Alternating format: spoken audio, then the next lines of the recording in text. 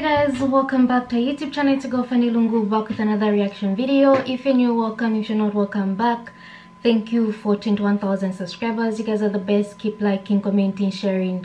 Everything that you guys do never goes unnoticed. Um, very, very grateful. Please, um, hope you're doing alright and may you stay blessed. Motivate me by giving me stuff to react to. Just give me the name or the link and I'll be more than glad to react to whatever you suggest. Find us on Facebook and Instagram as Fanny and Jessy. Um, say hi, will say hi back. Our vlogging channel Fanny and Jessy 2.0. Subscribe and enjoy the content that we put out. So today I'm going to be reacting to why death penalty is given in Islam. So without wasting time, let's get into the video. Assalamu alaikum wa rahmatullahi wa barakatuh. Click to subscribe Believing Beings. And press the bell icon to get notified about new videos. Sorry, what's your name, brother? My name is Wallace Maigwa. Wallace. Wallace, do you believe that there is one God? I believe there is one God. Do you believe Jesus is God? I believe Jesus is messenger and son of God. Messenger of God, correct. Messenger of God and he's also the son of Son of God meaning messenger, no problem. But he's not, he's not God. My Bible tells me that he's the only begotten son of God.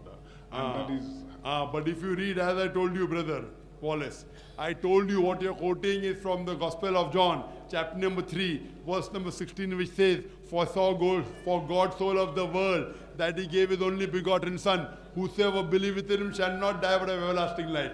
Now, if you read the Revised Standard Version of the Bible, revised by 32 Christian scholars, backed by 50 different corporate denominations, they say this word begotten is an interpolation, is a fabrication. So if you say begotten son, it is a fabrication. If you say son of God, meaning a messenger of God, no problem, brother. So if you believe he's a godly person, we verily believe that Jesus Christ, peace be upon him, is was the beloved of God, but he was not God, he was a messenger of God. I will beg to differ with you, Dr. Naik, uh, but uh, I have my reasons. Uh, Okay. although that was not my question, I have two questions Yes, of which I want to ask today. Yes, you're most welcome. Ask your question. The first question is regarding um, Islam. Yes, and Christianity. We all know that Christianity began or uh, commenced since 2,000 years ago, as uh, well as uh, Islam commenced about 1,400 years ago. Uh, would you be kind enough, sir, to explain to me or uh, to anyone else who may have doubt how you believe uh, about this period since the, uh, the time of Christ when Muslim uh, started. Do you believe that uh, these people who existed in that time will be judged or uh, they are going to be the same as us who has come after Islam? The brother asked the question that according to him, Christianity came 2000 years back and Islam came 1400 years back. Brother, you're wrong. Islam did not come 1400 years back. Islam is there since time immemorial. And Prophet Muhammad, peace be upon him, is not the founder of the religion of Islam, but he's the last and final messenger. Islam is there right from Adam, peace be upon him. Adam, Abraham, Noah, Moses, Jesus, Muhammad, peace be upon them all. So you have a misconception that Islam came into existence 14 years ago. It's totally wrong. Quran was revealed 14 years back. But Islam is there since time memorial. At the time of Moses, if you followed the teachings of Moses, peace be upon him, you would go to heaven. At the time of Jesus, if you followed the teachings of Jesus Christ, peace be upon him, you would go to heaven. Today, you have to follow the teachings of the last and final messenger, Prophet Muhammad, peace be upon him. And that was also meant by Jesus, peace be upon him. As I mentioned my earlier answer in the Gospel of John, chapter number 16, verse number 12 to 14, Jesus Christ, peace be upon him, says, I have many things to say unto you, but ye cannot bear them now. For he, when the Spirit of truth shall come, he shall guide you unto all truth. He shall not speak of himself. All that he shall he speak. He shall glorify me. So, brother, at the time of Moses, you have to believe in the teachings of Moses, peace be upon him. At the time of Jesus, if you believe in the teaching of Jesus Christ, peace be upon him, you are following Islam. Moses was the messenger of Islam. Jesus Christ, peace be upon him, was the messenger of Islam. And the last and final messenger was Prophet Muhammad, peace be upon him. Hope that clarifies the question, brother. Dr. Zakir Naik, please can you tell me whether uh, parts of the Bible of which are speaking the truth or there are others which are lying or I don't understand this, please, sir. You asked the question that can you believe the Bible is lying, speaking the truth, etc. We believe that Injil was the Wahi which was revealed to Jesus Christ, peace be upon him. But the present Bible, it is a mixture. It contains part of the Wahi given by Almighty God to Jesus. It also contains the word of the prophet. It even contains word of historian. And I'm sorry to say, it even contains pornography. So I do not agree the total Bible to be the word of God. It is a mixture. What matches with the Quran, I've got no objection in agreeing that is the word of God. But the Bible even has got pornography. For example, Ezekiel 23. If, I, if you pay me even a million dollar to read Ezekiel 23, I cannot read in the public. It's nothing but pornography. Correct, brother? So I I do not believe the total Bible is the word of God. The Bible says that Prophet Luth, he did zina, he did incest with his daughter. I cannot believe that a prophet of God can do incest with the daughter. Therefore, everything of the Bible is not the word of God, it is a mixture. It contains the word of God, it contains the word of the prophet, it contains the word of historians, it even contains pornography. My final question, sir. Yes, brother. This is regarding capital punishment. Yes, brother. Of which is illegal in many countries of the modern world.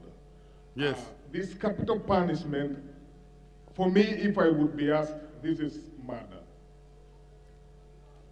And uh, to know whether you believe that uh, Allah or my God, of whom I worship and I bow down before, He is the only one who has a right to take life whether of a sinner or whether of a good person. Because um, I understand, and you earlier mentioned that it is punishable by death, according to the Holy Quran. The brother said that capital punishment, most of the modern countries, is illegal, but in Islam there are certain capital punishment, and brother rightly said that only Almighty God has the right to punish. That's the reason only those crimes which Almighty God has given permission to kill is allowed. And I gave you an example that if someone commits rape, there is capital punishment. Brother, I'm asking you the question. Someone rapes your mother. Brother, I'm asking you a question. Someone rapes your mother and the rapist is brought in front of you. And if you are made the judge, what punishment will you give him? What will you do? I will kill because I'm a human being. Oh, kill. Now you are saying capital punishment wrong. When someone rapes your mother, you want to kill the rapist. Why? Double standards. You are a human being, I'm a human being. Allah is Almighty God. He has told that certain crimes which are spreading corruption in the world, like raping, should be put to death. I agree with you. I have asked this question to thousands of non Muslims. 100%, all of them said we will put him to death some went to the extent of saying, I will torture him to death. How you said, I will kill him. Correct. You are a human being, I am a human being. How dare somebody rape your mother or my mother? I agree with you, brother.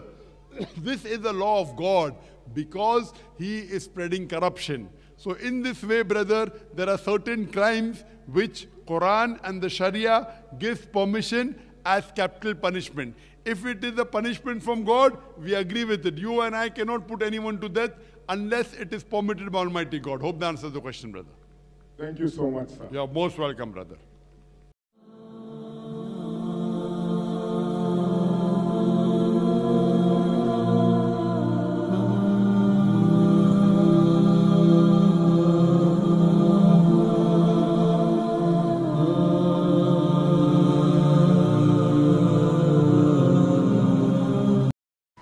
The crimes that we're going to say God doesn't commit, which we also are saying are absurd and shouldn't be happening. But then, how do we know that um, this should, this is the right punishment for the crime? You know, is it stated in the Quran that for rape you should maybe slap someone? then then for this you should kill them for this that's what i'd love to understand. Otherwise um, capital punishment is extreme yes. But then when you look at things other other a few days ago i was reading that um, a woman from botswana would be ex- executed in bangladesh because she traveled there with some form of drugs. I don't even know which drug that was i've forgotten. And um, after being in jail for a few months she was hung either the other weekend or something i'm not even sure you know. So should we say that's right? Because why should you it doesn't matter whether you're a foreigner or a national whatever it is do you think the dangerous business that you're involved in is worth it? Do you think doing that kind of business selling whatever you're selling is okay? Because the, as much as many people are doing all sorts of things but then where does someone draw the line and say um, this results into death. Because i'm sure if death penalty is what's awarded for rape i don't think people would be raping people that much. The other day i read someone right here in this country uh, raped their niece or something. I think they got months in jail you know just months for raping someone younger than them. Someone who's a child doesn't even understand what's going on so different countries different rules but then we as people what do we think? Should drug dealers be killed should rappers be killed should thieves be killed what? What's more suitable? What crime fits whatever criteria that's put out there? But um don't you guys think that should we decide to punish this person then we've made ourselves judges or should we because I, I don't think it's normal to just let someone walk scot-free. I really don't think it's normal but then doesn't that make us judging parties? I'm judging you because you stole my lollipop and i want you to get killed for that or i want you to go to jail for that has god given us the permission to do such a thing? That's something i'd love for us to, dis- to discuss in the comment section below. Let me know what you guys actually think. Make sure to give this video a thumbs up share it with friends and of course do not forget to subscribe and i'll see you in my next reaction video